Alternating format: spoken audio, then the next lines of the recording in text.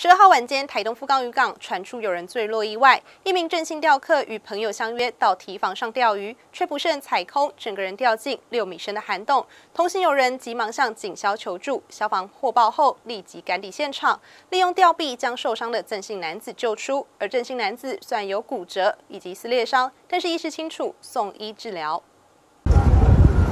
好，来往前开哦。翻译姿势，一、二、三。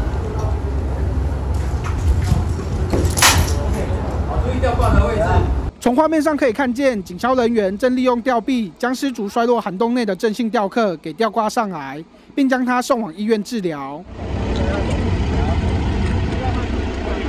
这起失足意外发生在十二日晚间九点多左右，坠落涵洞的郑姓男子原本与朋友相约在富冈的堤防上钓鱼，但疑似因为现场光线不足，视线昏暗，郑姓男子一失足竟跌落深达六米的涵洞内。同行的友人急忙向消防局求助，消防人员赶抵现场后，立即出动机具将这些男子吊挂上来。所幸男子仅有外伤，但意识清楚，被送往台中马街医院进行治疗。我们接获一一九勤务中心派遣，要有一名啊哈一名人员掉落富冈渔港的涵洞，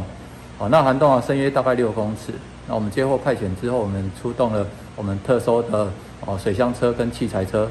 到达现场之后，我们利用我们特搜器材车的吊臂，还有吊篮，然后再派遣两名我们的特搜员，哦，穿着救助装备，